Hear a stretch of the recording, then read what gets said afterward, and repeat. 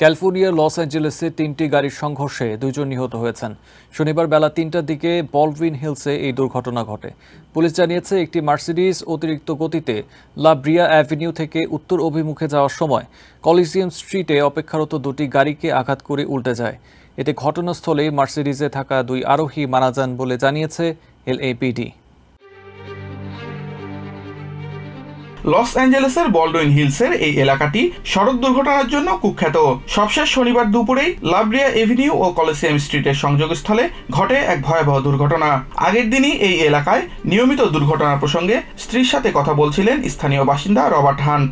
Just yesterday, I was at this corner right here at La Brea and Coliseum, make, getting ready to make a left. Police জানিয়েছে বেলা তিনটার দিকে মাত্রাতিরিক্ত গতিতে লাভরিয়া Avenue থেকে উত্তর দিকে ছুটে যাচ্ছিল একটি মার্সিডিজ বেঞ্চ এক পর্যায়ে সেটি নিয়ন্ত্রণ হারিয়ে কলিসিয়াম স্ট্রিটে সিগন্যালে অপেক্ষারত নীল রঙের একটি হোন্ডাকে আঘাত করে because it's a downgrade, and I think it's 45 miles down there. People tend to এরপর অদূরে থাকা আরেকটি বিএমডব্লিউকে আঘাত করে উল্টে যায় মার্সিডিজটি এতে ঘটনাস্থলেই মারা যান মার্সিডিজে থাকা এক আরোহী ও চালক। দুর্ঘটনার সময় ওই স্থানে কোনো ট্রাফিক পুলিশ ছিল না বলে জানিয়েছেন sergeant clearance parkings We actually shoot lasers up here and try to slow them down, but we we're not here, নিহতদের মাঝে একজন নারী ও একজন পুরুষ। তারা আফ্রিকান আমেরিকান বলে নিশ্চিত করেছে পুলিশ। দুর্ঘটনাপ্রবণ এই জায়গাটিতে পর্যাপ্ত আলোর ব্যবস্থা সহ গাড়ির গতি নিয়ন্ত্রণে ট্রাফিক পুলিশের উপস্থিতি আরও জোরদারের দাবি বাসিন্দাদের।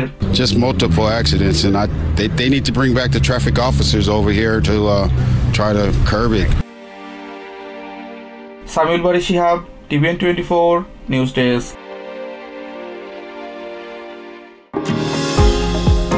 New York থেকে সম্প্রচারিত টিভিএন টোয়েন্টি ফোর টেলিভিশন বিশ্বজুড়ে বাঙালির কণ্ঠস্বর।